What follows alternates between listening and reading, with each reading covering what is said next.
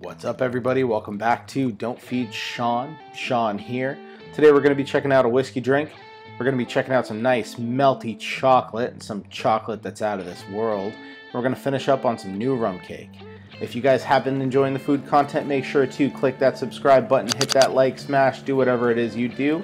And today we'll start up at Disney Springs, home of Wine Bar George, founded by Master Sommelier George Miliotes, who is one of very only a few hundred really master somms in the world.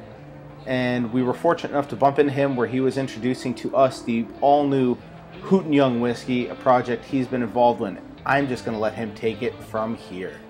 So first thing you notice is it's American whiskey, not bourbon. Um, and that is a little bit different, but part of our mindset when we set out to, to have our own whiskey was have something a little bit different. Um, and there's nothing wrong with bourbon. Bourbon is great. Um, but finding 12 year old product that's bourbon is not easy. Um, and then, you know, it's expensive too, but we wanted something that was truly delicious, truly different. So, what makes it American whiskey? Um, this one is 99% corn, 1% barley on the mash bill. And then American whiskey is always distilled to a higher um, proof. This was 190 proof when it was distilled, not 160. Then it was cut down to about 140 when it went into the barrel. Um, but here's another point of differentiation. When you have um, bourbon, you have to put it in first fill charred barrels. These were second fill barrels, and we put them in second fill barrels for a very specific reason. When you put them in first fill, that gives you the smoky, spicy thing that you get in bourbon.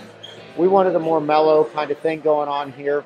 So the second fill, you get that really kind of um, I call it maple syrup. Some people say vanilla, others say caramel, but I say there's this maple thing and baked apple thing going on. And that's because at the second fill, most of the smokiness and the spiciness is taken out of the barrel, and you get more of the kind of uh, pie spice thing that's going on.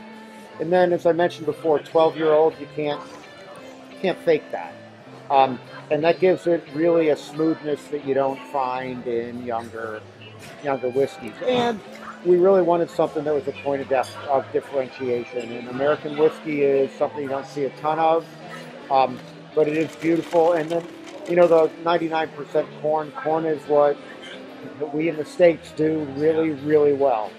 Um, and then some fun things about the three people involved. Hooten and Young are two people. Um, Young is Tim Young, who's been a friend of mine since the 90s. Um, our wives work together. I saw Tim about two years ago, um, and he's like, "Hey, I got this friend. We like uh, cigars and we like whiskey, and we want to do our own whiskey brand." Which I was like, "All right, whatever." Um, but Tim kept on me, and he introduced me to Norm Hooten, who's the Hooten part of this. And Norm's a really interesting guy. Norm, if you know the movie Black Hawk Down, oh yeah, um, there's a character Hoot. Actually met Norm at All right. Corona. Cool. Then you know, cigars. great. So you know the cigar Cigars brand and whiskey. too. Cigars Um, and whiskey. And so I got to know who, and I'd known Tim already. I was like, yeah, they're two good dudes. Let's do a cool whiskey brand. Um, and so we're as soon as we be- become profitable, we're going to give some of the profits back to veterans because that's what Norm is all about. Um, and it is a fun kind of story, and it is just as delicious a product as there is. Norm and Tim went up to MGP with me where we found the whiskey um, and both tasted and helped with the tweaking of the product and everything. So we're all involved. It's all fun and it's all cool. Beautiful thing. How do you take it? All right, I do two things. You did the hoot. I will tell you the hoot on a hot summer day is about as brilliant as it gets. Um, and so I love it that way. Then the other way that I'll do it, I'll do about an ounce in uh, in my Glencairn glass. I'll have a little bit of distilled cold water with me. I'll take a little spoon and I'll kind of adjust the uh, proof.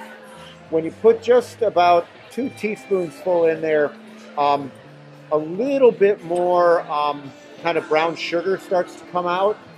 Um, and it even goes to, as opposed to apple, but maybe apple, raspberry, and brown sugar, all kind of browned in butter, which I just love that kind of aroma. It is good. And so that's kind of the way I like it. That's my end of the night. That's my beginning of the night. Fair enough. All Fair good? enough. Thank you very much. Well, for we your appreciate y'all coming Thank by. you. I appreciate you Yep. too. Camera guy gets a bump too. And for that, we thank George and the staff at Wine Bar George for being so kind with us. Uh, we ran over to where the new Gideon's is going to be, which is actually right across from where Wine Bar George is for you regular Disney goers and you Orlando locals who know where Gideon's is and enjoy their products. We went to the Ganachery though. I've been seeing a lot of the ganachery lately. We had gone for the s'mores. Uh, we were there for the s'mores 100% because these things look amazing and it is really just that time of year. But these little mini Frankensteins have been popping up all over the place. We had to go see what that was about too. But I ended up getting distracted. Yeah, the mini Frankenstein, super cool, $28 filled ball, but come on, Chocolate Millennium Falcon, that got my attention.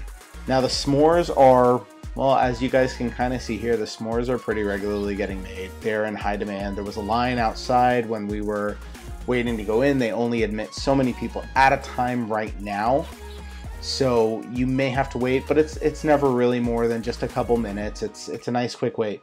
And it's worth it because all the chocolate is just really getting turned up in there. I mean, look at that toast on that marshmallow. My mouth is watering as I watch this. That is just. Whew. I need to take a breather. Look at that.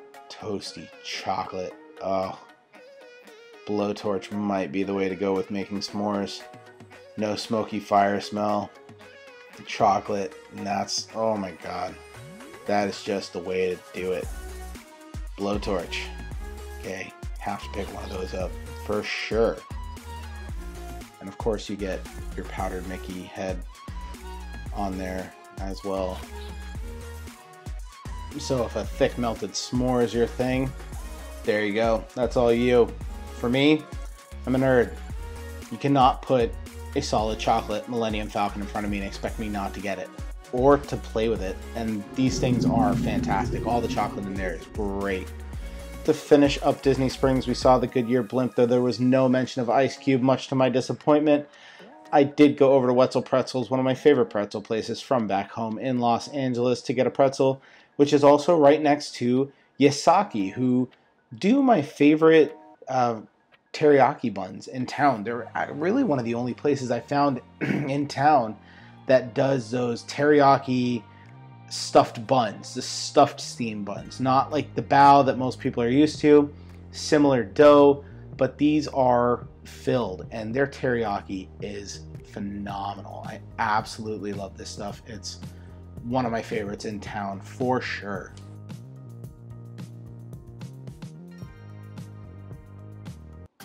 Finally, we're finishing up with a sneak peek of Cakehead CC pop ups rum cakes. Uh, Cakehead CC was started by Isaac of the Lunch Rotation. He's taking these traditional Puerto Rican rum cakes. He's making them with some phenomenal candied walnuts. Let me tell you guys, those things are quite addictive. And since he started making these and doing the pop ups with them, they've gotten really popular. They're really good. They take that uh, traditional rum cake vibe and, and just kind of enhances it, really. Uh, so keep an eye out for these. He's going to be popping up more sold out every time. Pretty getting pretty popular in the area. So make sure to pop on over to his page, check him out. I want to say shout out to Julian who has helped me with all this footage this week. So make sure to check him out on Instagram as well. Until then, guys, stay good, and I'll see you next time.